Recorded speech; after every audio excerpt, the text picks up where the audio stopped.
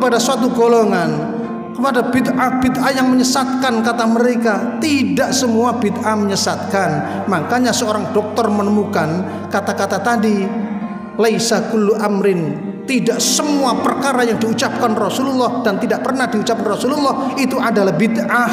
Justru ada yang baik bid'ah wajibah. Yang kedua bid'ah mustahab.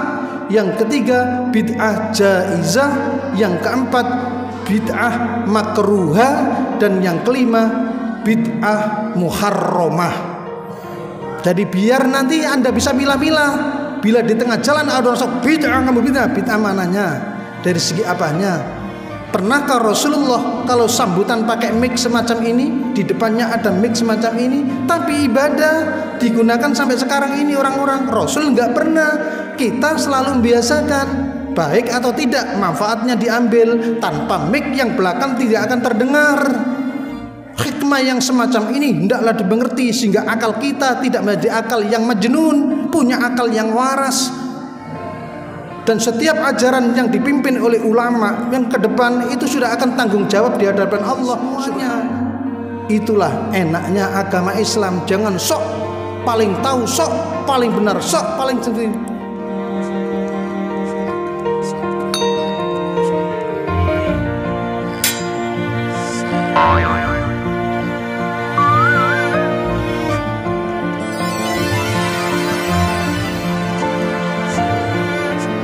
sering diucapkan dan sering terjadi perpecahan di muka-muka bumi ini utamanya dalam hal faham agama adalah selalu berkata dengan kata-kata bid'ah, bid'ah dan bid'ah. Hadirin hadis yang selalu diucapkan wa syarrul umur muhdasatuha wa kullu bid'atin dhalalah wa kullu dhalalatin finnar. Man ahdasa fi amrina hadza ma laysa minhu itu selalu kumandang di mana-mana bahkan mereka selalu berkata itu diucapkan di mana-mana. Katanya selama perbuatan itu Rasul tidak mencontohkan maka mereka melakukan bid'ah yang sesat. Selalu di mana-mana hal itu dikumandangkan percontohan itu dikumandangkan di masyarakat-masyarakat sehingga orang awam kalau sudah dikatakan bid'ah perbuatanmu perbuatmu salah tidak ada tuntunan di Rasul. Mereka lalu memikir bahkan bisa menjauh dari perbuatan yang rutinitas hari-hariannya dilakukan. Hadirin rahimakumullah. Hal-hal yang semacam ini ada seorang dokter yang namanya Syekh Hisham Kamil Hamid Musa Asy-Syafi'i Al-Azhari. Di mana seorang yang menemukan kata-kata bid'ah ini selama ini dikumandangkan dengan orang-orang yang cenderung dengan pelakuan yang salah justru ini membagi bid'ah menjadi lima. Orang kadang dengar dengar kata-kata hanya dua bid'ah sesat dan bid'ah yang tidak sesat. Tapi ini justru bid'ah ini dibagi lima dibagi lima dengan adanya perbuatan yang dianggap di zaman Rasul tidak ada justru menjadi wajib adanya bid'ah. Apa hadirin rahimakumullah bid'ah yang lima itu? Pertama adalah hukum bid'ah wajibah. Yang kedua adalah bid'ah mustahab. Yang ketiga adalah bid'ah jaizah. Dan yang keempat adalah bid'ah makruhah dan yang kelima adalah bid'ah muharramah. Mari kita kupas satu persatu biar kita lebih gamblang dan tahu kenapa bid'ah justru orang tidak boleh melakukan bid'ah, justru ini malah membagi bid'ah menjadi lima. Hadirin rahimakumullah. Yang pertama adalah bid'ah wajibah. Artinya mengadakan sesuatu yang zaman Rasul tidak ada justru harus diadakan pada saat ini atau pada saat dibutuhkan. Apa itu hadirin? Pertama adalah bid'ah wajibah, contohnya adalah fajamul Quran, yaitu pembukuan kitab suci Al-Qur'an. Kalau kita lihat kalamullah tidak bisa dibaca dan tidak bisa ditulis. Akan tetapi ternyata oleh Rasulullah Muhammad Sallallahu Alaihi Wasallam Rasul pun disebut umi orang yang tidak bisa membaca dan menulis tidak berbentuk huruf, tidak berbentuk kata, akan tetapi kita butuh untuk membacanya. Pada saat itu Quran tidak dibukukan, berantakan. Zaman Rasul tidak pernah dibukukan. Setelah Rasulullah tidak ada, maka ada inisiatif hadirin rahimakumullah sahabat. Di antaranya adalah Umar bin Khattab mengajak Abu Bakar bagaimana wahai Abu Bakar kalau hendak kita bukukan kitab suci Al-Qur'an ini apa jawabannya saya enggak berani karena zaman Rasul tidak pernah diadakan tapi oleh Umar didesak terus bagaimana akal Quran ini dibukukan karena apa? Pada saat itu orang-orang meninggal dunia yang hafid-hafid Quran karena ada pada saat itu memberantas nabi-nabi palsu terutama zaman Musailama al-Kadzab. Orang-orang yang hafid ikut berperang pada saat itu banyak yang meninggal dunia karena banyak yang meninggal dunia hafalannya hilang dan kalau tidak dibukukan akan ke mana Quran ini? Sedangkan sampai sekarang yang ada di dunia kitab suci Al-Quran tidak atas perintah Rasul. Rasul tidak pernah menyuruh membukukan, tapi masjid-masjid, musola-musola, di mana-mana dan di perpustakaan-perpustakaan ada musola namanya Al-Quran. Apakah kira-kira kita berani orang yang mengkodifisikan Al-Quran atau orang yang membukukan Al-Quran neraka orang itu karena Rasul nggak pernah menyuruh membukukan Al-Quran Apalagi awal mulanya Quran tidak ada fathah, kasroh, doma dan titiknya. Kemudian diberi fathah, kasroh dan doma oleh yang mengarangnya. Bid'ah ini haram orang ini, neraka orang ini. Dulu Quran tanpa titik, tanpa baca, sekarang ditambah. Berani nggak kira-kira Anda berkata begitu? Quran yang tanpa perintah Rasul asalnya tidak berbentuk kitab semacam itu dibukukan jadi kitab bahkan dapat kita baca di mana-mana tapi yang membukukan kita katakan haram neraka karena Rasul tidak perintah Makanya hal ini menurut Dr. Hisham disebut dengan bid'ah wajibah. Rasul tidak merintah akan tetapi kita wajib mengadakannya. Kalau tidak diadakan, generasi sekarang ini tidak akan tahu yang namanya Al-Qur'an karena Al-Qur'an pada saat itu hilang dari hafalan orang-orang yang hidup pada masa itu. Hadirin rahimakumullah. Yang kedua, ia membagi bid'ah yang kedua disebut dengan bid'ah mustahab. Artinya anjuran hadirin rahimakumullah. Kenapa itu merupakan anjuran? Contohnya adalah binaul madaris wal ma'ahid yaitu pendirian sekolah-sekolah, pendidikan-pendidikan, perguruan tinggi dan pondok-pondok pesantren. Zaman Rasulullah tidak ada yang namanya sekolahan. Zaman Rasulullah tidak ada universitas, zaman Rasulullah tidak ada pondok pesantren. Tapi sekarang berdiri di dunia adalah universitas, perguruan tinggi, sekolah, pendidikan, bahkan pondok pesantren menyebar di mana-mana. Beranikah Anda mengatakan neraka orang-orang yang mendirikan pondok pesantren? Masuk neraka orang yang mendirikan perguruan tinggi.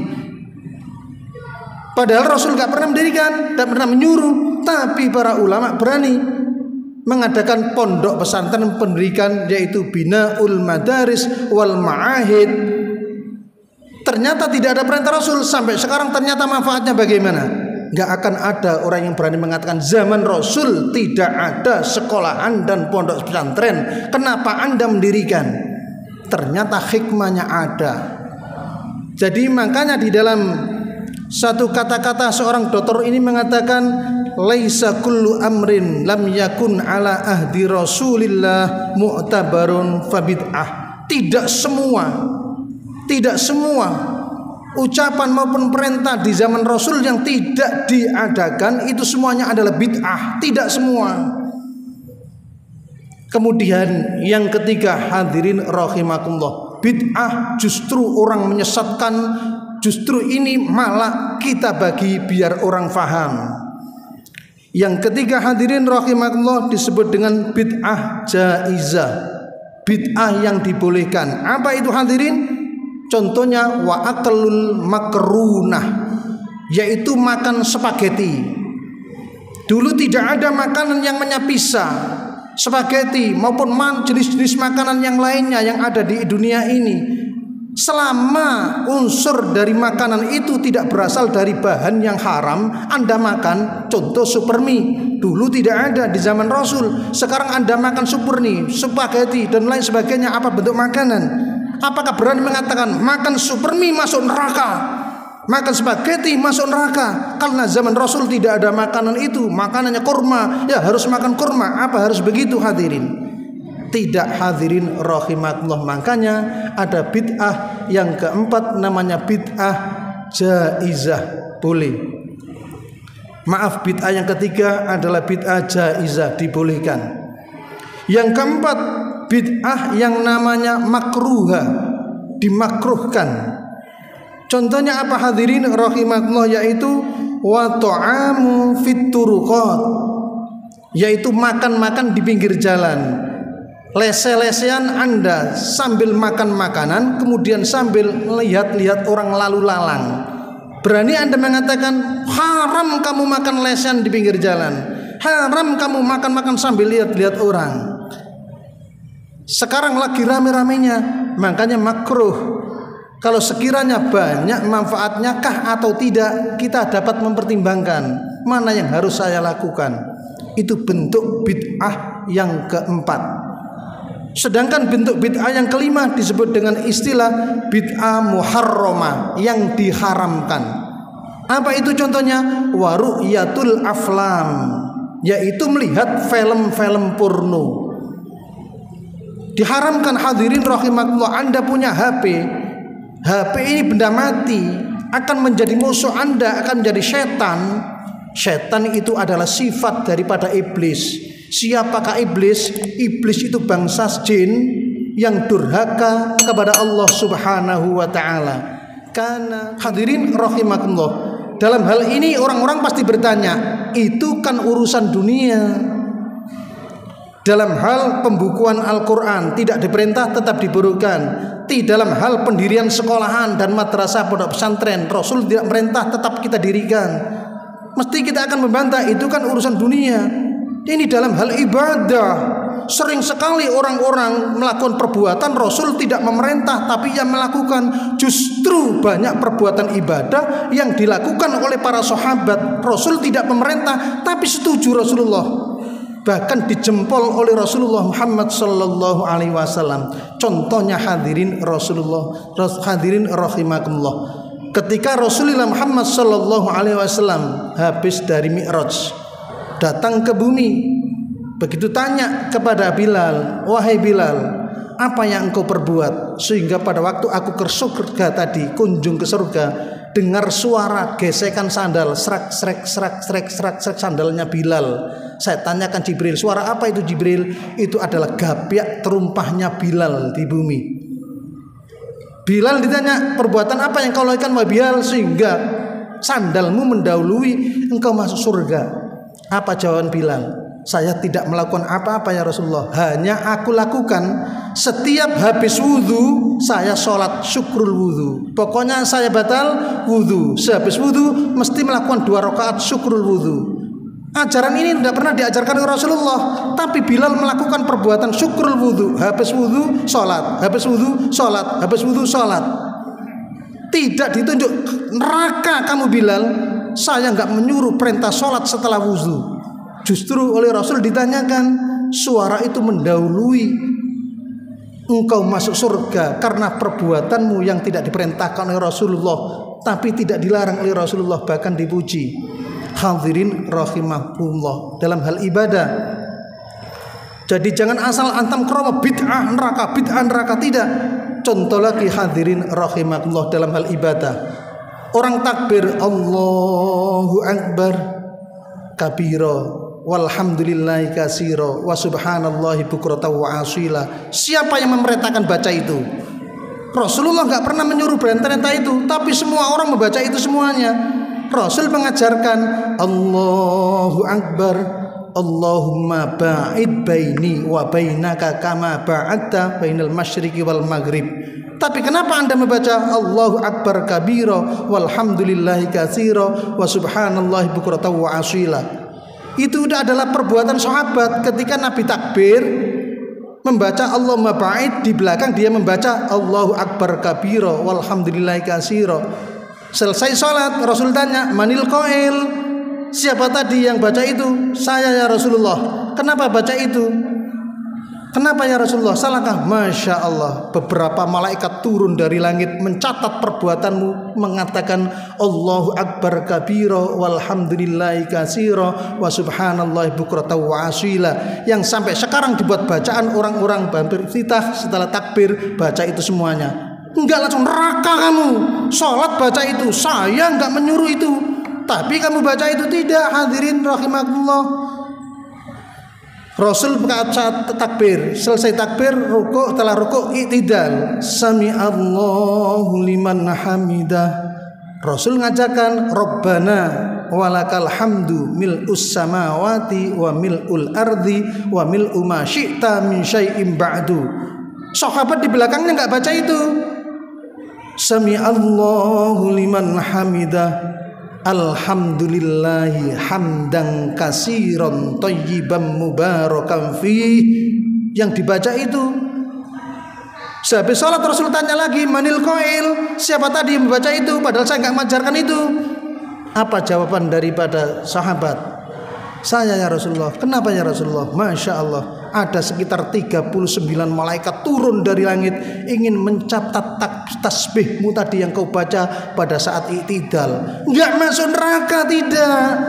Apa kata-kata dari usul fikih yang membuat satu dasar landasan landasan kaidahnya idza waqafa syariah fahuwa bid'atum mahmudah. Selama ajaran yang dibaca itu tidak menyimpang dari syariah, kata-katanya menuju kepada takbir tahmid yang tidak bertentangan dengan ajaran Rasulullah, itu adalah namanya bid'ah yang baik.